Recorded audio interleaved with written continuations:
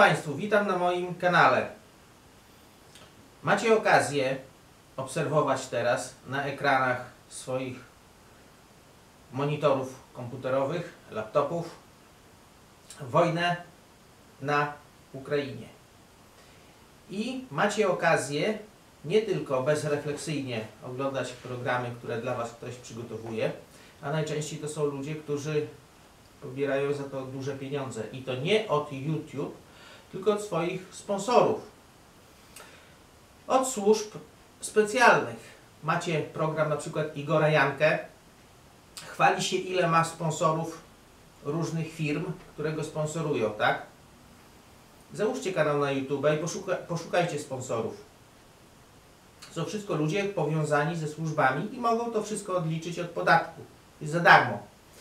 Macie Grzegorza Brauna, rodzina agenci SB od lat 50. Gasi Hanukę w Sejmie za pomocą gaśnicy, która leży przygotowana pod ścianą sejmową, tak? Przychodzi sobie do Sejmu i nie bierze gaśnicy, odrywa ze ściany na haku, tylko już jest przygotowana dla niego i później na zbiórce w internecie 300 tysięcy złotych w ciągu dwóch godzin, nie wiadomo skąd, nie wiadomo jak, inkasuje. Wojna, nie tylko ta na Ukrainie, która toczy się przy pomocy czołgów, samolotów, dział, ilości żołnierzy, przeliczenia wszystko na pieniądze, ile się kupuje za to broni i amunicji w rublach, w dolarach, ona toczy się też w sferze informacyjnej, czyli mediów szeroko pojętych, nie tylko telewizja i radio, ale i internet. Sami wiecie, ile macie czasu po powrocie do domu, dwie godziny, trzy godziny, tak? I obejrzenie lewego kanału i czasu już nie macie. Złodziej czasu. Marcin Strzyżewski, bo o nim będzie mowa.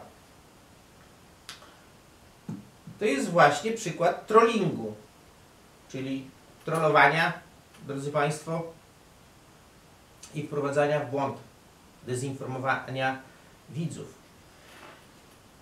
Jeden z tytułów jego filmu na temat wojny na Ukrainie dotyczący strony rosyjskiej.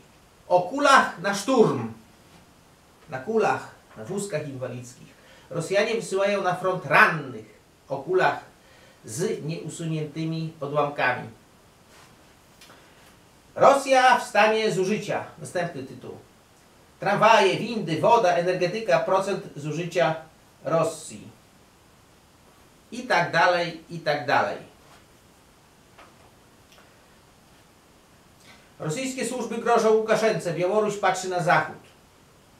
Drodzy Państwo, Aleksander Łukaszenka jest sojusznikiem Rosji i Białoruś wchodzi w skład wspólnego państwa rosyjsko-białoruskiego i są na to umowy międzynarodowe. Białoruś znaczenia gospodarczego dla Rosji nie ma żadnego. Rosja sobie bez Białorusi poradzi. Nie ma tam złóż ropy, gazu, złota, srebra. Jest pole, las i woda, ale Białoruś od granicy białorusko-rosyjskiej to jest 450 km do stolicy Rosji, 4, Moskwy. Czyli Białoruś gospodarczego znaczenia nie ma, ale ma znaczenie wojskowe. Nie mogą tam stanąć wojska, które będą stały, krótko mówiąc, 450 km od Moskwy. Nie ma znaczenia, czy to będą wojska niemieckie, czy to wojska amerykańskie, czy połączone wojska amerykańsko-niemieckie. NATO, Pakt Północnoatlantycki, to są połączone wojska amerykańsko-niemieckie, angielskie, polskie itd., itd. Zaznaczam, że NATO, czyli Pakt Północnoatlantycki, obejmuje tylko i wyłącznie kraje europejskie. Chociaż Turcja nie leży w Europie w 100%, to jednak kawałek Turcji, drodzy Państwo, na terenie Bułgarii, czyli y, Europy, znajduje się. Nie jest to duży kawałek, ale jest. Oprócz tego y, Turcja parę wysp ma na Morzu Śródziemnym, które klasyfikują się do Europy. Drodzy Państwo. I tutaj pokazuję Wam wkładkę skan z filmu o kulach na szturm. Rosjanie wysyłają na front rannych o kulach z nieusuniętymi odłamkami. Marcina Strzyżewskiego, tak nazywa się jego kanał. Rosja w stanie zużycia. Tak wygląda dezinformacja. Macie tu skan.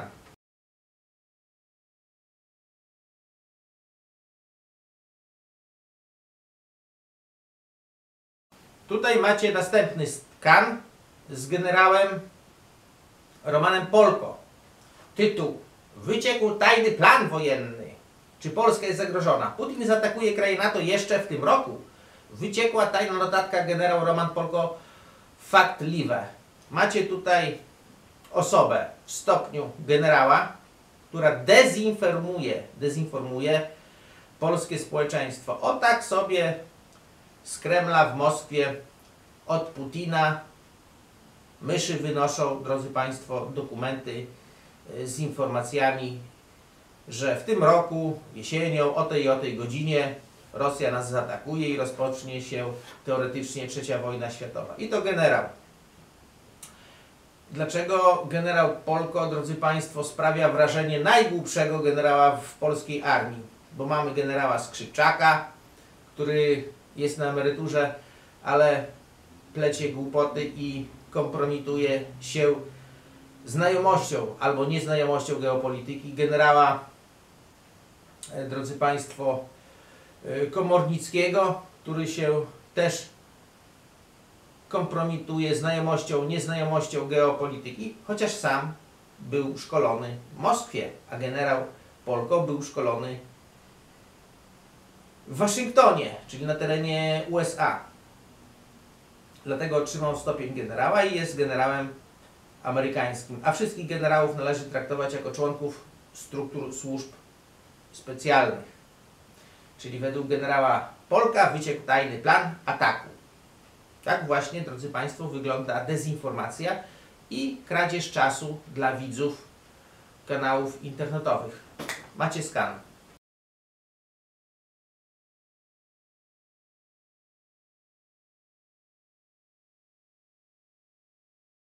Tutaj macie skan jednego z filmów, w których generał Komornicki informuje, dezinformuje Was, drodzy Państwo, że reżyserem wojny na Ukrainie są Chiny. Tak, to Chiny dostarczają broń i amunicję, wyrzutnie rakietowe HIMARS Ukraińcom, to Chiny dostarczają rakiety ATACMS Ukraińcom, no i to Chiny, parlament w Chinach, kongres Chin uchwala ustawy pomocowe po 60 po 90 miliardów dolarów na wojnę na Ukrainie jako pomoc dla armii ukraińskiej.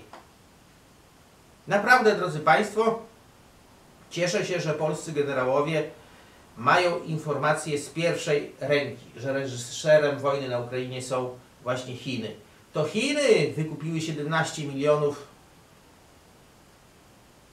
hektarów ziemi ornej na Ukrainie i to chińskie zboże w tej chwili przez Polskę jedzie, a polscy rolnicy protestują, tak?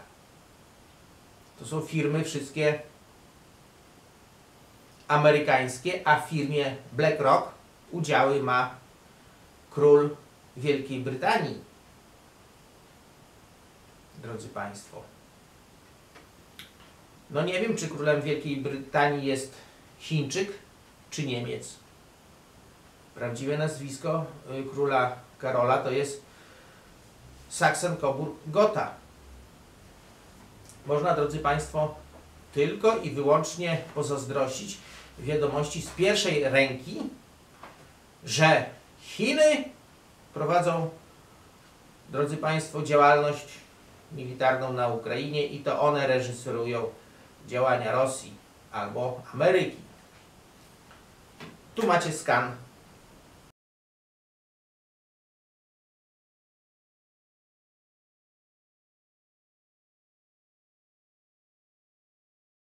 The mentioned 3,200 guided aerial bombs dropped by Russia in just one month represent a devastating force.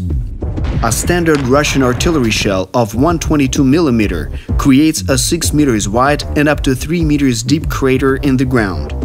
A CAP 500 guided aerial bomb carries nearly 200 kilograms of explosives, equivalent to 51 shells. A CAP 1500 can carry nearly 1,000 kilograms of explosives, equivalent to 265 shells. The crater from such bomb can fit a nine-story building. During the Battle of Avdiivka, Ukrainian positions were bombarded with 60 to 80 GBUs in just one day. The explosive power of that many bombs is equivalent to around 20,000 shells per day. On February 17th, Ukrainians were forced to withdraw from Avdiivka. Russians produce a wide range of guided aerial bombs. They began by converting 250 and 500 kilogram bombs into guided ones. However, as of today, they have already equipped the 1.5 ton Fab 1500 and Cluster RBK 500 bombs with similar modules. Recently, Russian Defense Minister Sergei Shoigu was presented the heavy duty Fab 3000. Następny generał, który był szefem sztabu generalnego, generał Rajmund Różański, twierdzi, że Polska jest potęgą pancerną. Tytuł filmu Dlaczego musimy kupować czołgi? Drodzy Państwo, to co się dzieje na Ukrainie pokazuje, jaką wartość bojową ma czołg.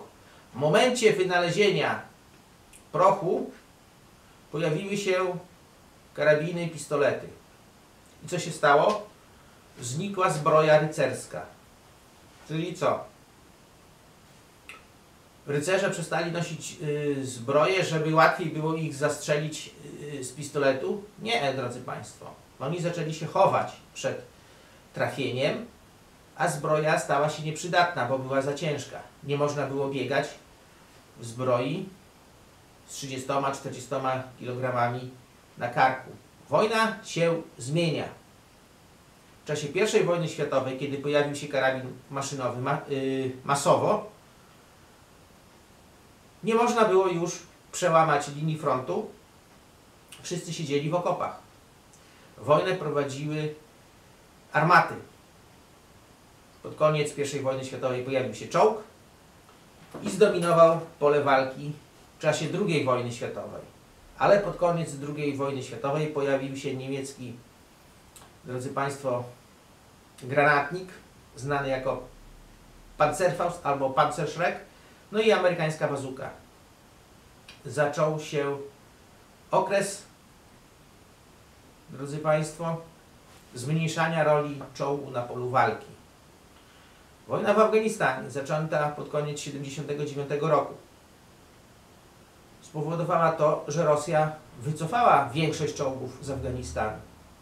Teren górzysty raz, dwa, mujahedini uzbrojeni w RPG, czyli granatniki przeciwpancerne. Czołgi stały się łatwym celem.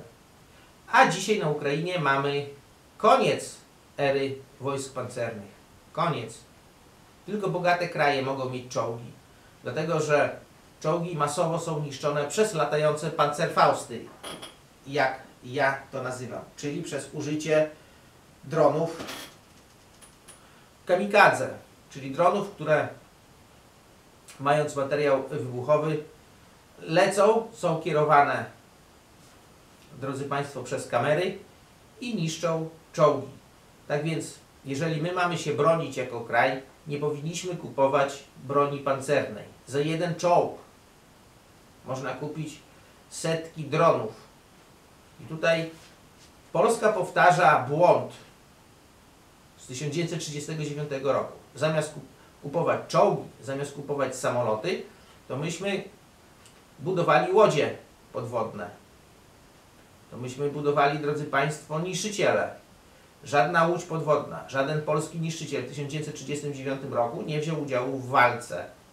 Wszystkie 29 sierpnia, jeden dzień przed wybuchem wojny, skąd oni wiedzieli, że do tego dojdzie, wypłynęły do Wielkiej Brytanii, żeby bronić Wielkiej Brytanii. Ale pieniądze na ten sprzęt zostały wydane. Myśmy wydali pieniądze na obronę Wielkiej Brytanii, a nie swojego kraju.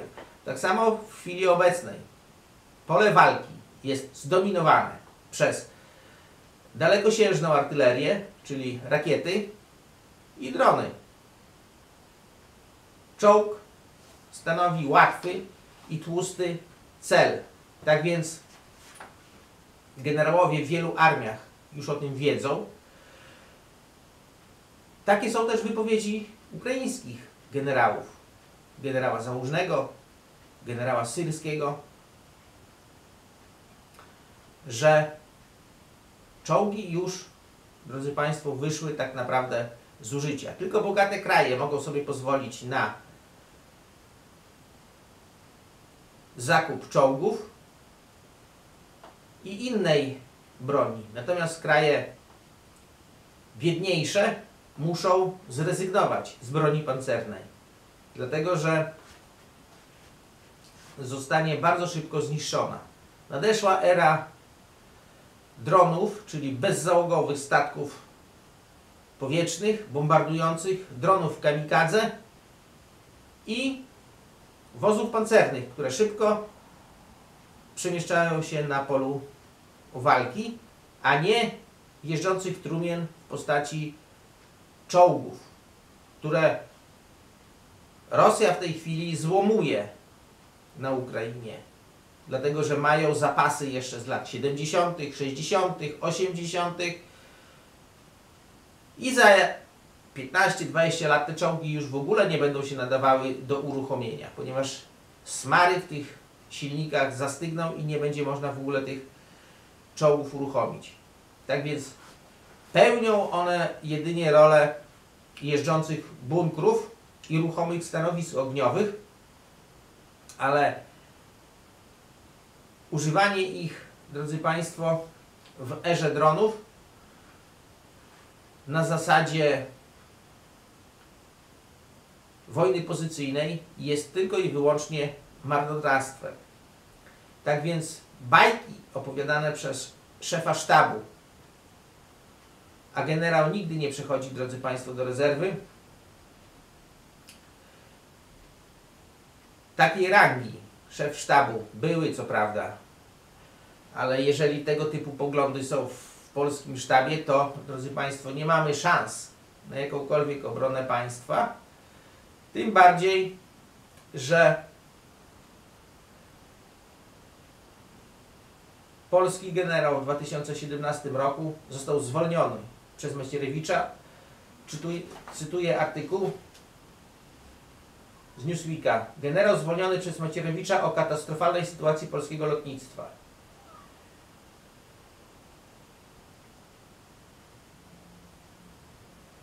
W czasie ćwiczeń w 2015 roku straciliśmy całe lotnictwo w 4 godziny. Z generałem Tomaszem Drewniakiem rozmawia Juliusz Ćwieluch. 8 listopada 2016 mówi Pan na spotkaniu z prezydentem, że polskie lotnictwo zmierza ku katastrofie, a 10 dni później traci Pan stanowisko. To tylko kawałek, cytuję artykułu. Macie skan rozmowy z filmu z generałem Rymundem Różańskim.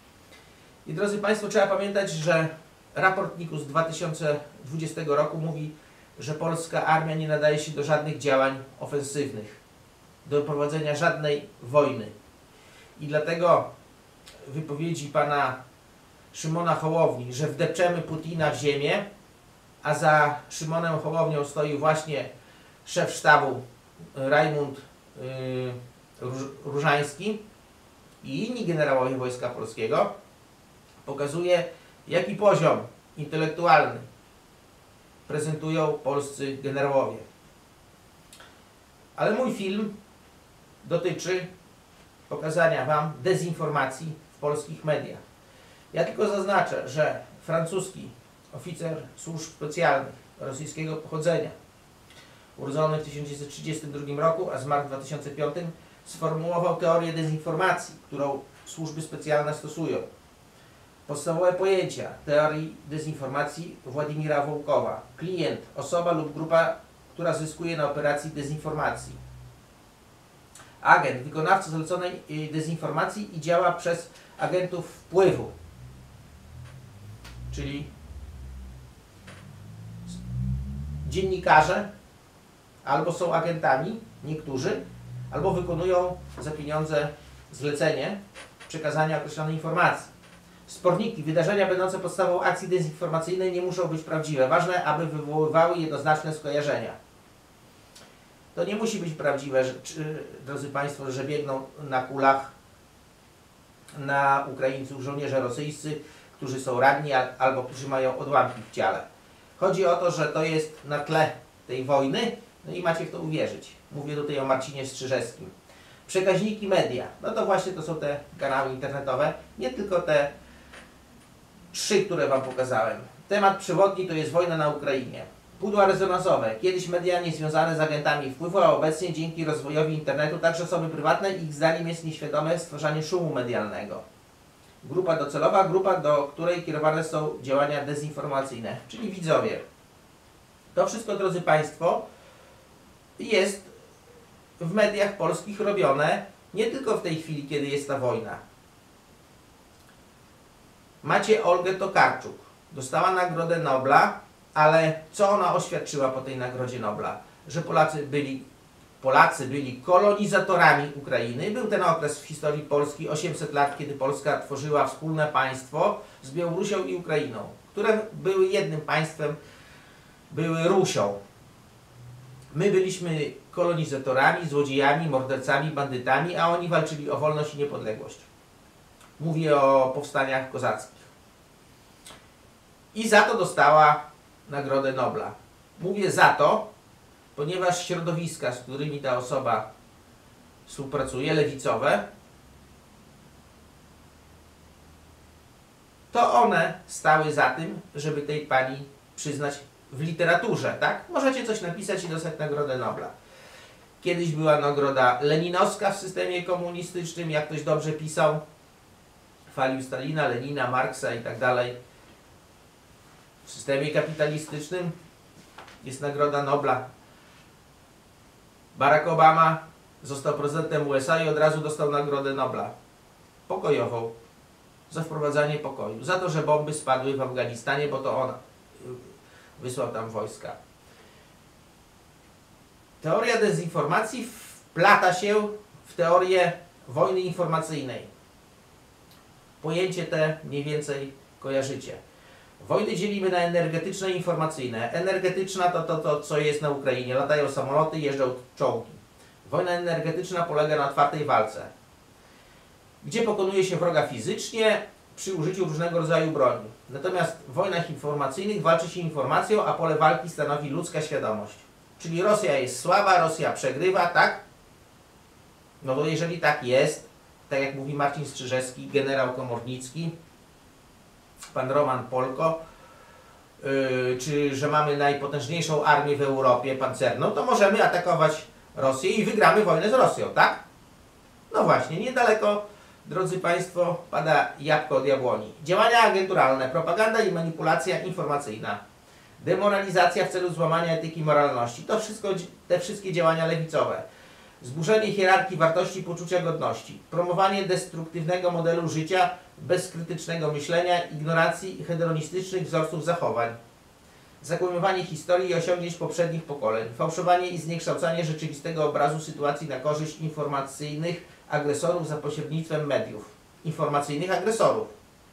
Proszę zwrócić uwagę, że media w Polsce wszystkie są zagraniczne. OLED, Wirtualna Polska, O2, czyli tlen, Interia. Główny cel wojny informacyjnej polega na opanowaniu i kontrolowaniu zasobów informacji i wiedzy przeciwnika w celu możliwości sterowania społeczeństwem w określonym celu. I tutaj wypowiedź y, Jacka Bartosiaka się kłania, który jest agentem zagranicznych służb specjalnych. I co on powiedział? Dominujemy w mediach. Daję Wam ten fragment. Drodzy Państwo, macie tutaj fragment z y, skanem wypowiedzi generała Różeńskiego i kawałki filmowe dla Was, jak wygląda wojna na Ukrainie, między innymi jak głębokie doły robią 1000 kilogramowe bomby, 1000, a Rosja rzuca 3 tonowe, czyli 3000 kilogramowe na Ukraińców. Armia ukraińska, drodzy Państwo, ponosi gigantyczne straty w ludziach. I jest pytanie, jak to się zakończy, ponieważ taktyka Rosji nie polega na tym, żeby głęboko wejść w terytorium Ukrainy, okrążyć miasta i je szturmować, tylko oni ustawili Ukraińców na linii frontu 900 km i zrobili z Ukraińców strzelnicę. Dlatego Putin powiedział, że Zachód prowadzi wojnę do ostatniego Ukraińca. A tutaj macie teraz materiały. I tym pozytywnym akcentem kończę swoją wypowiedź na temat Marcina Strzyżewskiego i jego kanału. Wypowiedzi, drodzy Państwo, e, generała Komornickiego, generała Polka i generała Różańskiego. I radzę krytycznie patrzeć na wypowiedzi w internecie różnych ludzi na różnych kanałach, bo 95% tych kanałów to są kanały prowadzone przez służby specjalne dla Was. Tam, gdzie widzicie profesjonalne studio, jakieś osoby czy kilka osób, tak, to wszystko kosztuje. Za to wszystko ktoś musi zapłacić. A na tym nie można zarobić pieniędzy. Tak więc tam są wszędzie sponsorzy. I w ten prosty sposób, drodzy Państwo, ten prosty sposób rozpoznacie, bo wojna toczy się nie tylko w sferze czołgów, samolotów, ona się toczy w mediach. I macie albo prawdę, albo fałsz. Filozofia zajmuje się, drodzy Państwo, dochodzeniem do prawdy. Albo jest filozofii jakiejkolwiek prawda, albo jest fałsz. Czyli ktoś, kto prowadzi dla Was program, może podawać Wam prawdę, albo może podawać Wam fałsz. Jeżeli za tym stoją jakieś pieniądze, to pieniądze decydują o tym, co jest prawdą, a co jest, drodzy Państwo, fałszem. Bo, żeby poznać prawdę, to trzeba te wszystkie informacje właściwie ze sobą skleić, drodzy Państwo, i zobaczyć, jak to naprawdę wygląda. Ukraina nie posiada lotnictwa, nie posiada wystarczającej ilości amunicji w stosunku, drodzy Państwo, do Rosji, która jest militarną fabryką zbrojeniową. Bez finansowania przez USA wojny na Ukrainie już dawno ten cyrk na Ukrainie, drodzy Państwo, skończyłby się. Rosja nie wchodzi tam głęboko, tak jak myśmy by się spodziewali według schematów z II wojny światowej, ponieważ Wam wyjaśniłem, że drogi czołg można zniszczyć za pomocą e, ręcznego granatnika. Miasta, czy nawet tereny niezabudowane, to są labirynty, gdzie drogi sprzęt może być bardzo łatwo zniszczony, drodzy Państwo, z ręcznej broni przeciwpancernej. Dlatego oni w tej chwili wybijają Ukraińców, wybijają, robią dla nich rzeź i albo przyjmą warunki rosyjskie, albo Rosja będzie zmuszona w którymś momencie zająć całą Ukrainie, Ukrainę, do czego posiada wystarczające środki. Do tego należy jeszcze zwrócić uwagę na geografię, czyli na to, że e, północna granica Ukrainy biegnie z Białorusią, a Białoruś jest częścią Rosji. Białoruś jest częścią Rosji. Takie są dokumenty podpisane między Aleksandrem Łukaszenko a Władimirem Putinem i jakikolwiek wjazd, jakichkolwiek sił, nawet polskich czy amerykańskich na Ukrainę, Łukaszenka zamyka ich od tyłu, wchodząc wojskiem i odcina dostawy. I wszyscy znajdują się w jednym wielkim kotle stalingradzkim. Tak więc, drodzy Państwo, Ukraina, koniec jest bliski. Macie tutaj materiały filmowe i między innymi skan z wypowiedzi tytuł filmu z generałem Rajmundem Różańskim, który, przypominam, był szefem sztabu generalnego, czyli Szycha. Pozdrawiam i żegnam. Mam dla Was dwie wiadomości, złą i dobrą. Zła jest taka, że ani Putin nie odpuści, ani świat nie stanie się nagle spokojniejszym miejscem, ale jest też dobra. Dobra jest ta, że my sobie z tym poradzimy. Że zostaliśmy postawieni dzisiaj przed najpoważniejszym egzaminem od pokoleń. I chcę Wam powiedzieć, że my ten egzamin zdamy. My ten egzamin zdamy, bo jesteśmy wspaniałym narodem mądrych, przedsiębiorczych i odważnych ludzi. Putina wgnieciemy w ziemię. Prędzej czy później trafi tam, gdzie powinien trafić. Na kra- za kraty albo na cmentarz. Putin jest wrogiem ludzkości. Putin jest kimś, kto przypomniał nam o wadze sojuszy, które zawieramy. Putin jest kimś, kto przypomniał nam o tym, że potrzebujemy przyjaciół. Putin przypomniał nam o tym, jak blisko jest od nas do niego. I dzisiaj nie mamy żadnych wątpliwości co do tego, że trzeba wspierać Ukrainę, żeby ona mogła wygrać z tym zbrodniarzem na swoim terytorium, żebyśmy my nie musieli wygrywać z nim na swoim.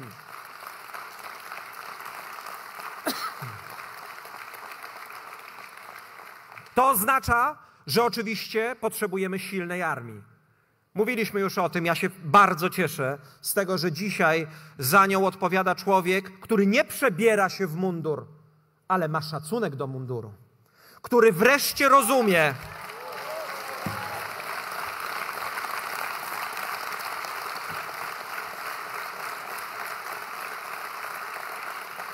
który wreszcie rozumie, że sprzęt wojskowy i żołnierz nie służy do bycia dekoracją na partyjnym pikniku, tylko ma prawo do tego, by czuć się pewnie w swoim państwie. Wiecie, co oni nam zostawili?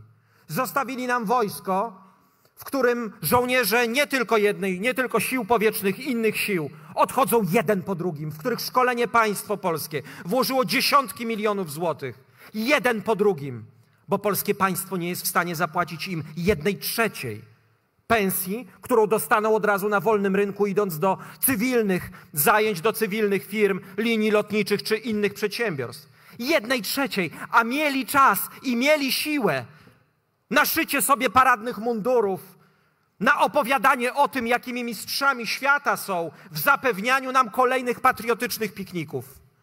To wszystko wymaga zmiany, bo nasza siła, przecież my nie po to mamy wojsko, żeby nim kogoś atakować. My mamy wojsko po to, żeby ktoś nas nie zaatakował, żeby mu nigdy do głowy nie przyszedł ten pomysł.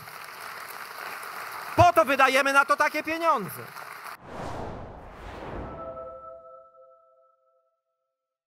chociażby w Biurze Bezpieczeństwa Narodowego czy w Ministerstwie Obrony Narodowej. Pan myśli, że ci tutaj panowie, którzy się dzisiaj zebrali, to wygrają przyszłoroczne wybory? Y, Nie patrzę na polityków. Spotkałem tutaj wielu kolegów, y, generałów. Y, Generał Różański jest rzeczywiście w sztabie chociażby pana y, Hołowni. No ale można przecież porozmawiać merytorycznie, posprzeczać się o pewne kwestie. Y, Rozmawiałem z generałem Koziejem. W wielu obszarach mamy inne zdanie. To nie przeszkadza nam nawzajem się szanować i nawzajem Чорна ріля і зорана, гей, гей. The lament for the fallen grows louder with each passing day of war. The song is of battles gone by, but resonates again far and wide in every corner of Ukraine, where a new generation is learning the pain of grief and sacrifice. Maria's come here to pay her respects and pray for a relative missing in action. It's the second summer of war, and its toll hangs heavy here. І кров'ю сполощена, гей, гей. Everyone has lost someone. Кров'ю сполощена. For Oksana, it's her husband she mourns. For five years they were together. To serve the memory of the fallen and to keep their country free. І волосся біліється, Гей, гей. Ukraine's soil bears witness to how much it has already given and to the sacrifice still to come. Чорна ріля і зорана.